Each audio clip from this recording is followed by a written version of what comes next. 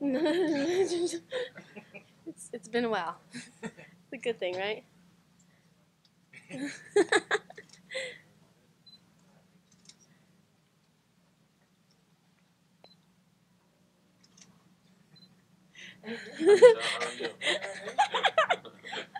guys are really close. a couple weeks removed from your last fight. Yeah. Retrospect, how, how do you feel about it? What went wrong?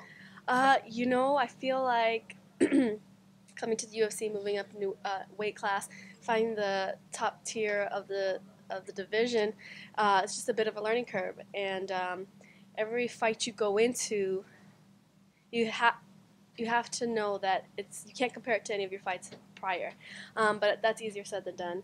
And um, there is there are things that I take away from it that I did really well, and there are things that I take away from it that I could have done better. And um, I was improving on my boxing, and I re- really wanted to prove to myself that I could stand and, and throw. And I'm really proud of myself for doing that. But there were other things that I wish I could have done, and um, you know that's why that's why I have some more fights on my contract to do that. After the fight, I noticed on uh, your Instagram stories, Yeah. which are often very entertaining, that you were very emotional. You were talking about like hug your family and spending time, and I don't know if there was deeper meaning to all of that, or if you were, you know, there was one in your car. You remember there was like five in a row, and you had black eye, yeah. and uh, what, what, what were you trying to say to your fans, or what were you trying to express? Um, sometimes I think that as a like an as an athlete and as a fighter, I can be consumed and really selfish about my career. and um, at the beginning of my camp, my father-in-law got in a really bad accident and um, was in the hospital. And um, they're telling us that he wouldn't be able to walk and um, doing all his rehab and stuff. And it really put things into perspective for me because I get to wake up every day and get out of bed and and do what I love. And um, I just think it's important to sometimes take a step back and uh, appreciate the things you have and appreciate the people that are in your life and, and to cherish every second you have with them because you never know what's going to happen. How is your father-in-law now? Um, he is he's doing better. He's um, at home now, and uh, we're still working on the rehab, and we're we're just we're just trying to be in his corner because he has a big fight ahead of him. So, know, we're just being ahead of his corner, eh, being in his corner, and just trying to be supportive. You know. You also said before uh, the fight that after the fight against Rose, you kind of had to re, sort of uh, regain your love for mixed martial arts or martial Mhm. arts. Um, how are you processing this loss? Do you feel the same way, or I um I know the reason why I lost is um I'm actually I'm I'm proud of myself for the way I fought, but I know that the reason why I lost is because I I was restricting myself from some of the things that I could have done.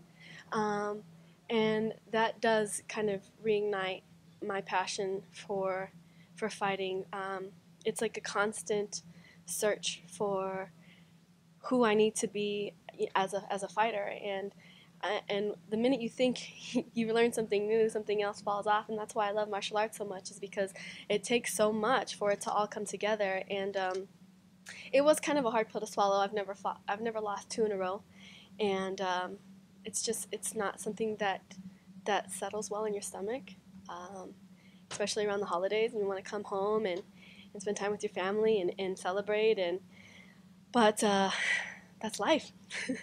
and um, I, I'm grateful for the opportunity. I know that I went out there and I did well. Tecia's, you know, a, a highly ranked fighter. She's going off to, to, to fight big names as well. And and I'm just um, proud to say that I that I got in there and, and threw down with her. So When you look at the growing state of the women's divisions of the UFC, you came from atomweight. How much do you, you think about that division? Would I think they a good one to have here in the UFC? Um, I think they should add a lot more weight classes, especially for the women, because uh, we we hold on to weight differently than men do, and if you give um, the women a division to flourish in where they're not having to struggle to, to add muscle, to, to cut weight, then um, they're going to show up. You know, I, I think we've we've done a good job at, at, at coming into the UFC and, and showing that that we're just as passionate as, as everybody else. Get, you know, give them the platform to, to, to show their skills and abilities, and they're going to show up every time. So. Would you ever consider going back to MMA if it were here in the UFC? Um, I don't know. I, I guess um, you, you, you can never, I'll never say never, um, but I do feel comfortable at 115. Um, I worry less about cutting weight and worry more about training, and I think that's more important, and I'd, I'd rather I take that advantage. But um, like I say, never say never. If the division opens and it's a good opportunity for me, then then we'll see where it takes me. Now that 2018 is, or 2017 is almost done, 2018 is, is coming up, I feel like it's sort of been like a tale of two years for you. You've become like a superstar almost. You're on MTV and body armor and stuff, but in the cage it hasn't gone way. How would you describe this year? How, how, does it feel like um, a mix of emotions? Yeah, a hundred percent. You know, um, fighting is my passion. Martial arts is my passion. Um, but I also understand that it's important for me to take advantage of this platform that I'm on, so that I can build my brand, so that when I'm done fighting, I have um, something to fall back on.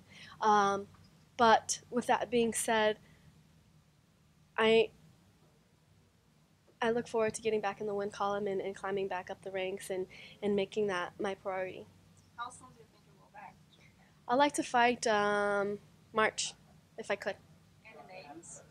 Um, I'm really looking forward to watching the bout tonight between Carla and uh, Cynthia. I think either one of those girls would be a fun match between me. Um, also, you know, I know Felice has been on a four-fight win streak. You know, her and I kind of grew up in the sport together. I think that would be an entertaining fight. Um, but at this point, I just want to get in the win column. So, so we'll see who they give me. Um,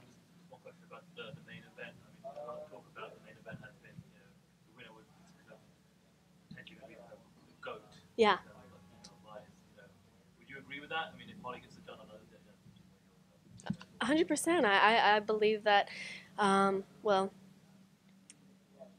I might be biased because Holly's like one of my best friends, but um, I know I know what she does behind the scenes that nobody else gets to really see, and to me, she's already the goat because I, I get to see her worth ethic. I get to see her, you know, um, on her highs, and I get to see her on her lows, and um, in all instances, she is an, an amazing person, an amazing athlete, and somebody that I aspire to be. Thank you. Next, Michelle. Thank you. Michelle.